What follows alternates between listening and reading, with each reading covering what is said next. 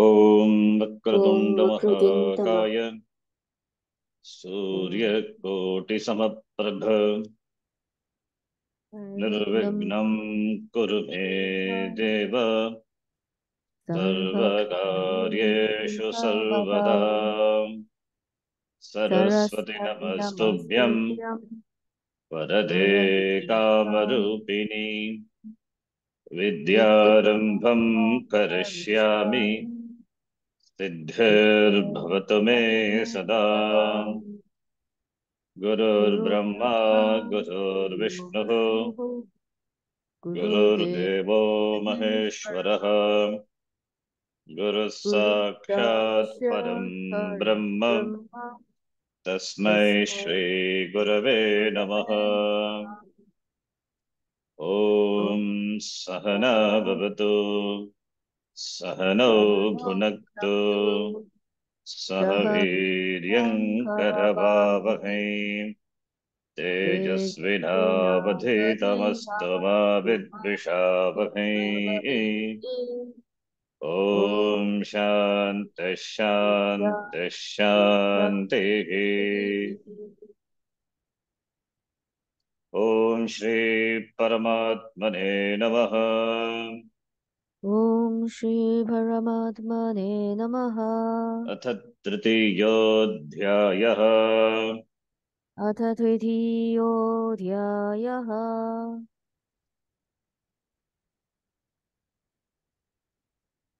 The topic of the third chapter is Karma Yoga, so which we started reading. The chapter begins with the question of Arjuna. If for moksha, sannyasa is the means, then why do you engage me in karma? And that too, this Ghora karma, this Yuddha karma, that is the question. It's going to come, it's not yet, not yet come now. For moksha, what is required is sannyasa. Sannyasa meaning sarva karma sannyasa, that is jnanam. So Arjuna understood sannyasa, that is renunciation, giving up of karma, is the means for moksha. Then why do you engage in karma? So that is the, the question. We have to read from knowledge alone is adequate of adequate for moksha. This question on the part of Arjuna is because of his confusion with regard to what sannyasa is. Is it ashrama sannyasa or sarva karma sannyasa? Ashrama sannyasa, that is chaturtha ashrama, sannyasa ashrama, where a person after vanaprastha ashrama takes to sannyasa ashrama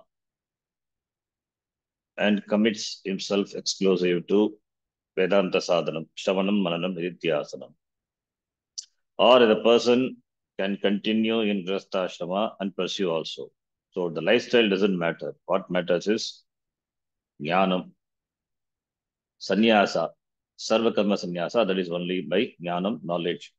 The knowledge only liberate, liberates, not the, the lifestyle. The lifestyle is immaterial, whatever may be the lifestyle. The goal is moksha. That can be achieved through a life of Vigrasta or through the life of sannyasa ashrama. So Arjuna's confusion here with regard to what sannyasa is. Therefore, the question comes. Knowledge alone is adequate for moksha. Arjuna's confusion was based on his incorrect understanding of renunciation, sannyasa. Krishna seems to have dismissed the pursuit of karma for good by not allowing it to be considered in the pursuit of moksha. Therefore, sannyasa had to be the answer.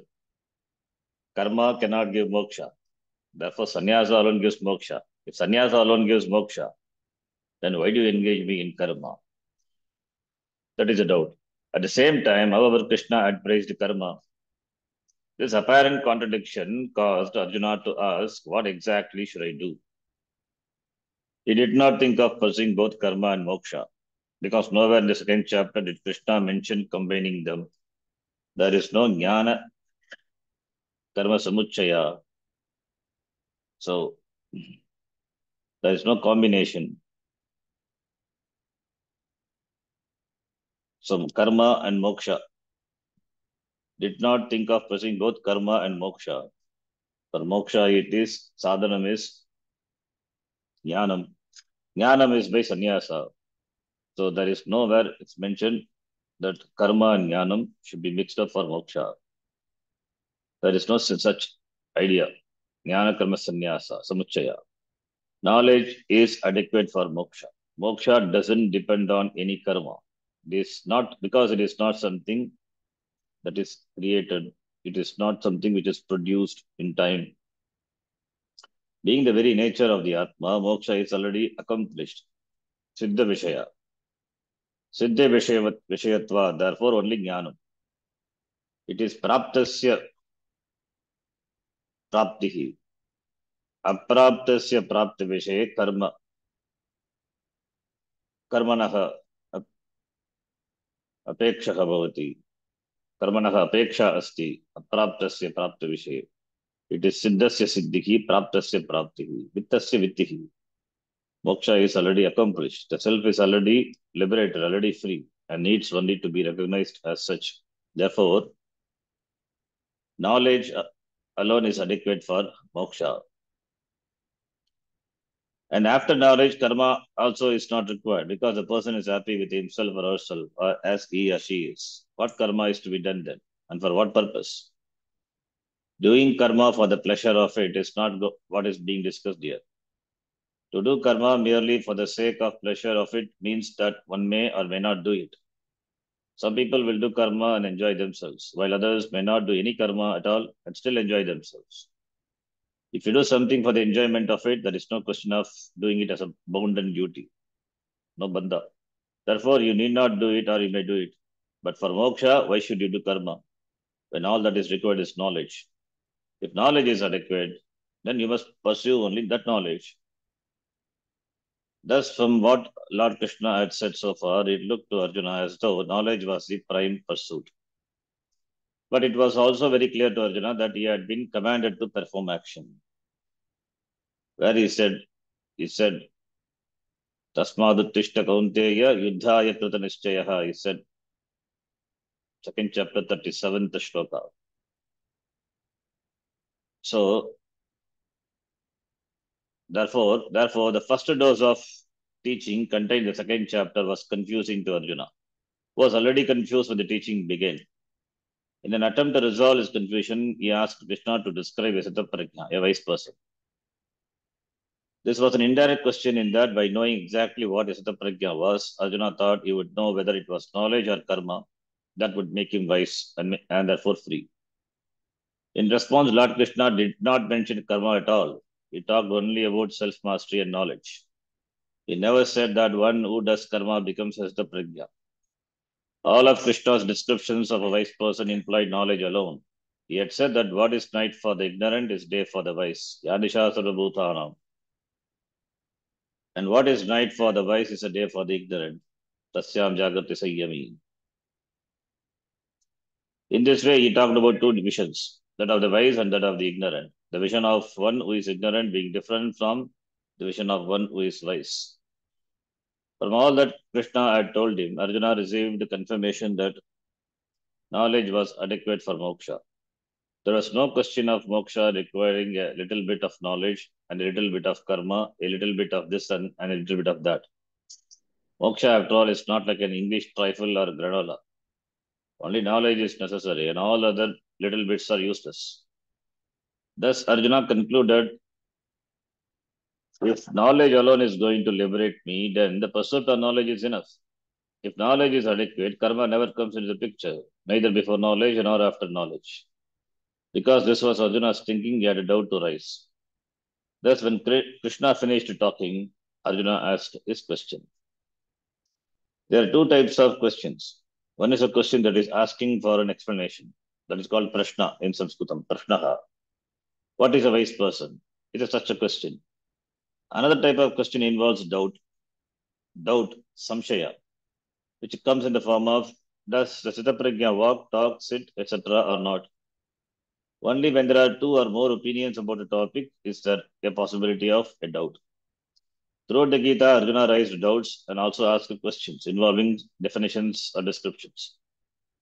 When Arjuna wanted to know what a wise person was, he was not expressing a doubt, although he may have done, he may have had one.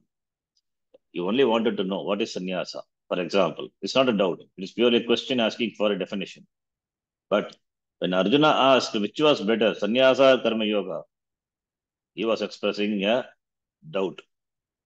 Here at the beginning of the third chapter, he raised a doubt, a samshaya. Therefore, the third chapter begins with the words of Arjuna. Let us chant this. Arjuna Uvacha. Arjuna Uvacha. Jyayasi chet karmanaste. Jyayasi chet karmanaste. Mata buddhir janardana. Mata buddhir janardana. Kim Karmani Ghore Mam तत्किं कर्मणि घोरे मां Niyojayasi Keshava योजयसि Keshav Hey Janardana Janan Ardayati iti Janardana. The one who destroyed the Asura Jana.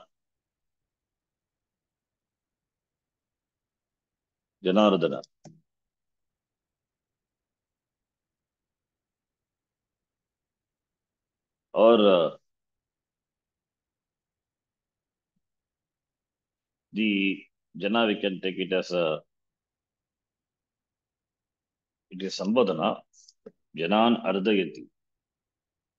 Ardayati Nashayati, Vinashayati. It is Janardana. It's the name of the Lord. the Janardana. I think the sambadana came before also. the Janardana. Yeah, Janardana, Madhusudana, Harisudana.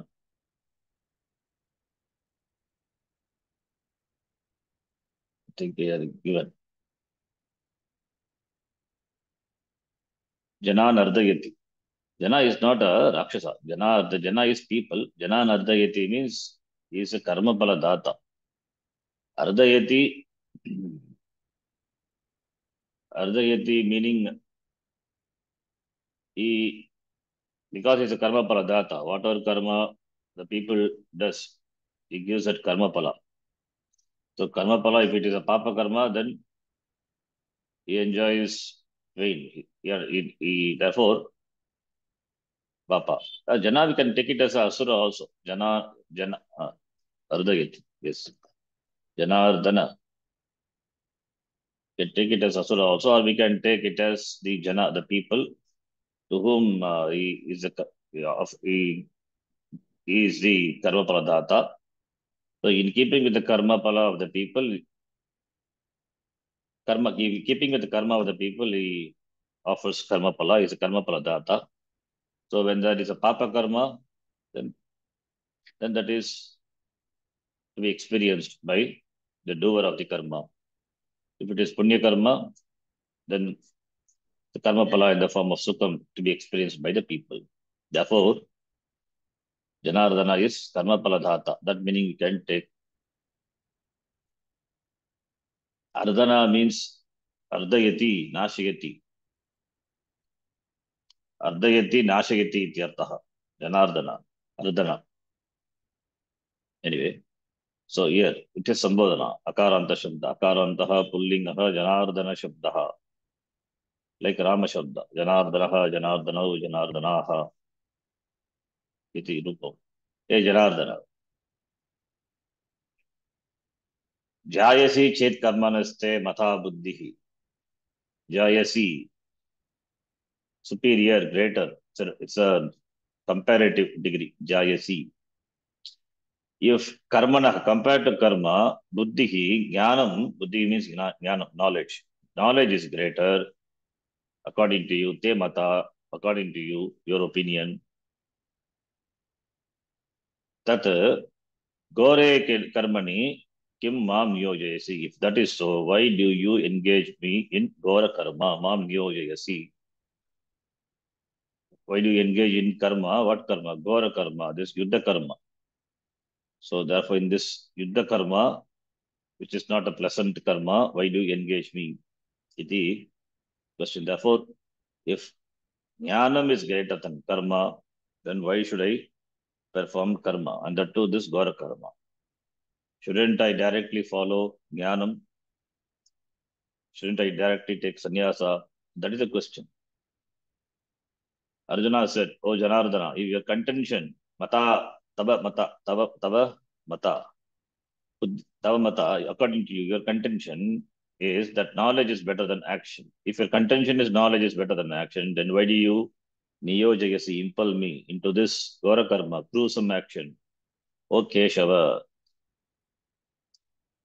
Arjuna addressed Lord Krishna here as Janardana, a name for the Lord, which means one who upholds the law of karma by giving the fruits of wrong action to the performer of the action. So mainly wrong action.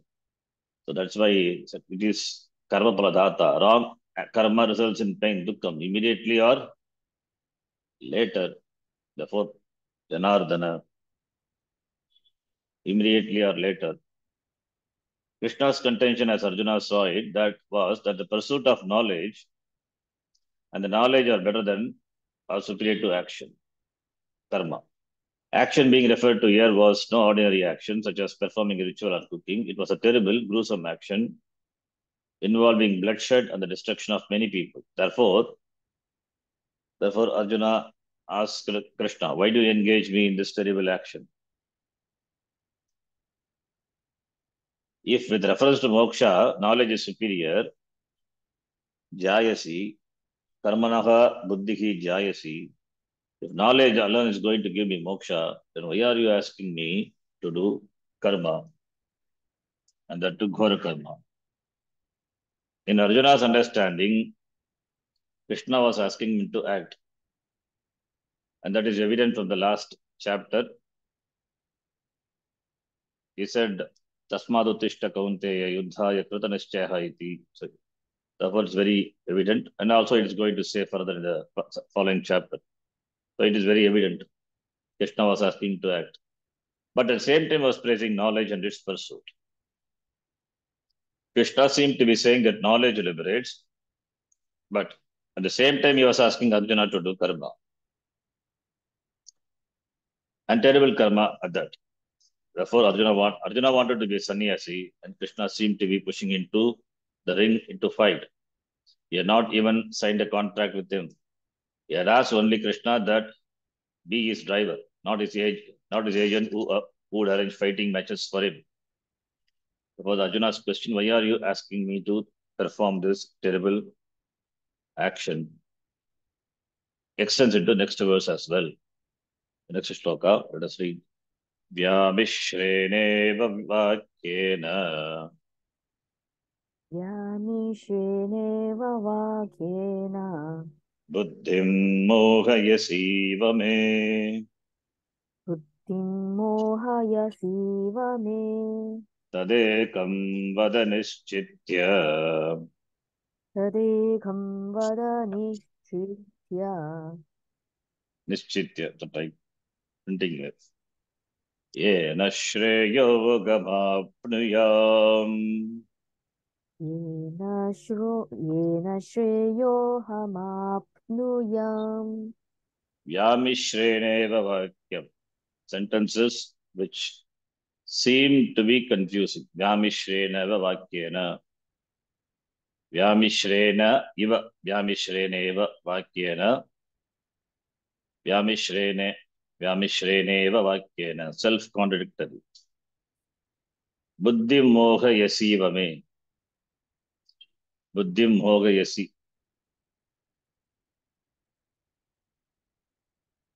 You seem to be confusing the buddhi. Vyamishreneva vakyena buddhim mohayasiva me.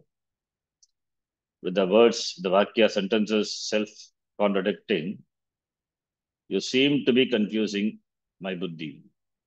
You tell me one thing, tadekam vadanishchitya yena shreyaham apniyam, by which I will get the shreyas iti. With the words that are seemingly contradictory. Not contradictory, seemingly contradictory. You appear to be confusing my mind. Arjuna, Krishna doesn't confuse. He confuses, then he's not a teacher. It, you seem to be confusing, appear to be confusing. And the statements are not contradictory, seemingly contradictory. Having decided which is better, tell me one thing by which I will I shall gain liberation, moksha. Arjuna did not say that Krishna's words were self-contradictory, but that were seemingly contradictory. In Arjuna's understanding, there was contradiction. But even knowing this, he did not say to Krishna, You confused me with self contradictory words, which would have been an accusation. He didn't do that. Here we are given indication how, of how one should talk in such situations.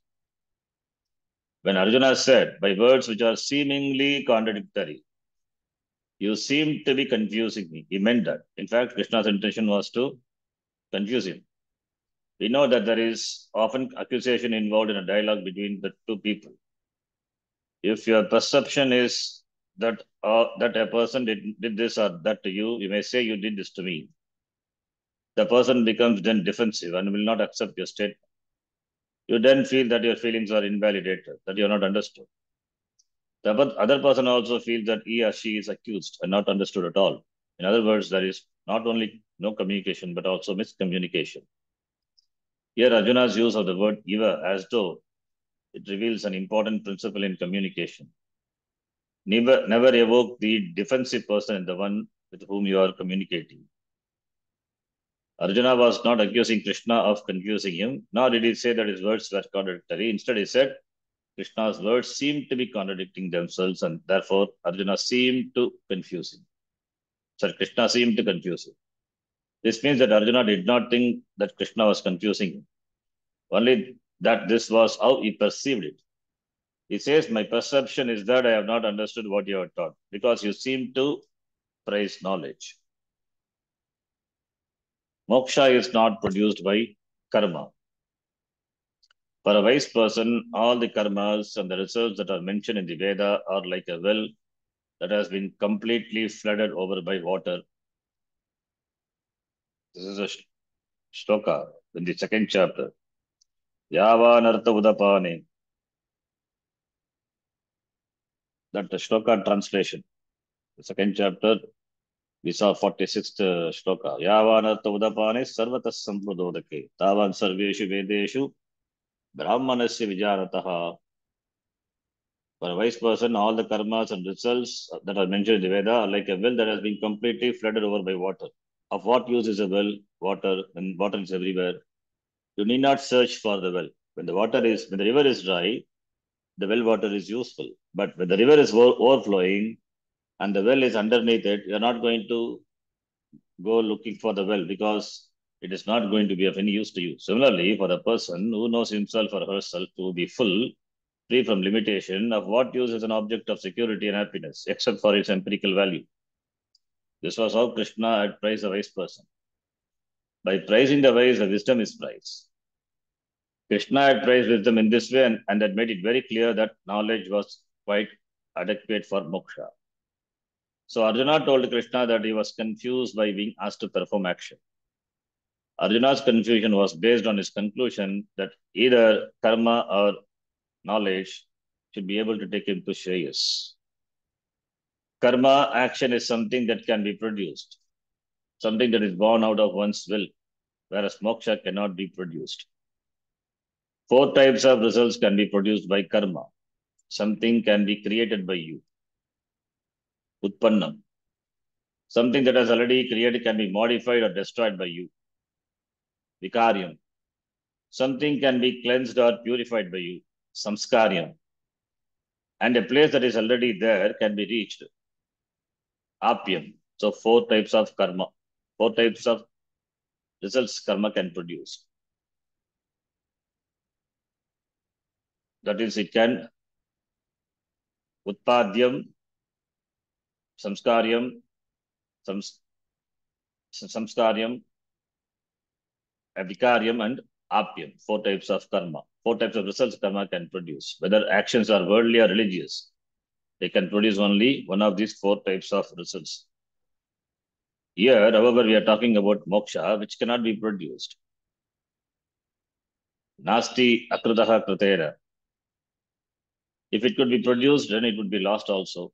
If, for example, moksha could be achieved by purifying the Atma, then it would take no time at all for the Atma to become impure again. You would have to scrub it every day. Nor can the Atma be reached because Atma is myself. It is not away, therefore, there is no apyam. It is not something I have to reach because it is not away from myself. Therefore, reaching it is impossible. Modification of Atma is also not moksha. Samskara of Atma, that is also not moksha because Atma is ever Shuddha. What can be modified is subject to time. And so moksha gained also will be lost. Also, in order for in order for the Atma to be subject to modification, it would have to be an object objectifiable by me. But because the Atma is myself, it cannot be an object in my hands. Therefore, it is not something I can modify. The self is already accomplished and moksha is identical with it. But Krishna was asking Arjuna to do karma. Why? Therefore, Arjuna asked him to settle on one or the other, either knowledge or karma. If it was to karma, he wanted to know why. The nature of knowledge. Knowledge is not something that is produced and is therefore different from karma. Knowledge is knowing things as they are. To know that an unclean object is unclean or that a clean object is clean is knowledge, jnanam. To know an untruth as untruth or a truth as truth is also jnanam. To know the real satyam as satya is jnanam. And to know the unreal mithya as mithya is also jnanam. Because knowledge is as true as the object. It is not dependent upon your will. I cannot decide that this is how knowledge should be. I can only see the object as it is. Nor can knowledge be modified by my will. The will can set you up to pursue knowledge, but it cannot interfere in the perception of an object. This being the case, jnanam and karma are entirely two different things. Arjuna wanted Krishna to tell him whether knowledge or karma would liberate him. Tell me whether I will gain shreyas by karma or by jnana. Tell me which one will do it. Don't tell me that knowledge is all right and karma is also all right, that I can go this way or that way. Suppose you go to one teacher who tells you that you should perform karma. Then you decide to go to another teacher for second opinion, just as you might if a doctor you have consulted recommends surgery. The second teacher may say, what karma, you should do yoga. Yet another teacher might say you, you must pursue knowledge. It is to be expected that if you go to three different teachers, each one may you give a different set of instructions. You then have to find out for yourself which one, which one of the three is proper, which teacher is right. There may be a fourth person who is right. It is also understandable that the same teacher may give different advice to different students. One student may ask, do they marry or not? And be told that he or she should marry. Another student may be told not to marry because he or she doesn't know how to take care of himself or herself. The person is already a dukhi. And this making another person a dukhi also by marrying prematurely. Thus, a teacher advise his or students differently. Arjuna's confusion about knowledge and karma. In the Gita, there are only two types of people involved. Krishna, the teacher. There are only sorry, two, there are only two people involved. Krishna, the teacher, and Arjuna, the student. It seemed to Arjuna that Krishna was saying knowledge liberates, therefore do karma. Only one student was involved here, Arjuna. It looked as if he was being told knowledge is okay and karma yoga is okay. Arjuna was therefore understandably confused by Krishna's seemingly contradictory words. There was a similar situation in the, in the epic Ramayana between Prahasta and Ravana. Ravana had kidnapped Rama's wife Sita. This was probably the first kidnapping ever reported and was definitely a federal case. Rama, the king, was a king, took the case into his own hands. When, negotiations for Sita's return were unsuccessful, Rama declared war on Ravana. Ravana had a minister, Prahasta. Summoning him, Ravana asked Prahasta, Ravana asked, Prahasta, what do you think? Should I give Sita back to Rama? I think we are inviting trouble by keeping her here. To which Prahasta replied, Yes, Maharaj, you should give her back because we are definitely inviting danger by doing otherwise. We all will be destroyed. Hearing this, Ravana became angry and said, Are you saying that we will be destroyed by this Rama, a mere mortal, an ordinary human being? Are you telling me, Ravana, who has ten heads and great powers, that this puny little Rama is going to destroy me? Never, Maharaj, never. Prahasta replied. Rama is a nobody. He has only two hands and two legs. With his bows and arrows, what can he possibly do to you? Then Ravana said, But I am told that this Rama is not an ordinary mortal. Prahasta's reply came promptly. He said, Maharaj, do you know what I have heard about this Rama? They say that he is an avatara, an incarnation of the Lord himself, but not an ordinary mortal. Growing ever angrier, Ravana asked, Do you think that Rama and Lakshmana with these monkeys can beat us? We can beat anybody. When I am the Lord of the three worlds, are you saying that these two are going to destroy me? Never, Maharaj. Prahasta replied, How can these two fellows with their monkeys do anything to you? Ravana then said, But I am told that the monkey Hanuman is a very powerful fellow. Maharaj, there is not only one Hanuman. Prahasta responded. There are thousands of monkeys. Some of them are as great as Hanuman. There are so many of them that if they all come here, we are done for. Then Ravana asked, Are we afraid of monkeys? What, Maharaj? exclaimed Prahasta. Of course, we are not afraid of monkeys. Varuna, the god of water, comes and waters our gardens. The god of air, Vayu, comes and sweeps our floors. Why should we be afraid of these monkeys? It would seem that Prahasta had read a book equivalent to How to Win Friends and Influence People. The advantage of being a Prahasta is that in every cabinet reshuffle, his name always appears on the top of the list because he says yes to everything. A teacher's answers question. Such balanced pleasantries may be acceptable to those who are anxious to maintain a position, but in Arjuna's case, the relationship was one of teacher and student. I am, I am your student, Arjuna had told Krishna. A teacher should not be afraid to tell a student what is true and what is not true. If a teacher doesn't tell you what is true, and who else is going to do it? Arjuna wanted Krishna to tell him what was true and not true. Therefore, he was not looking for pleasantries. He wanted to be told what was one thing that would give him moksha and did not want to hear about anything in between. He did not want to be told that karma is good and knowledge is also good because he did not see it that way, even though it looked as though this was what Krishna was saying. Arjuna was as though saying to Krishna, From your own words, I understand that knowledge liberates and karma binds. Why then do you want me to bound to this karma? Every karma I perform only makes the knot more complicated. If I am able, if I am to resolve this knot, this tie to samsara, a life of limitation, for which I need and want moksha, then I need to pursue knowledge. But you're asking me to act, act. But you're asking me to do karma. Therefore, you must have something in mind. Please tell me what is what it is, because I don't understand. This then was the thinking behind Arjuna's question, which was really a doubt, a samshaya. And therefore, Krishna answered him in the next shloka. That is from where the teaching starts. Important shloka follows. Lokes dvida nishta. We will see this shloka in the next class. So we'll stop with the question of Arjuna. Om Purnamadah Purnamidam Purnat Purnamudachyate पूर्णस्य पूर्णमादाय पूर्णमेवावशिष्यते। ॐ शान्तिः शान्तिः हरिः ॐ श्रीगुरुभ्यो नमः। हरिः ॐ धन्यवादः। धन्यवादः।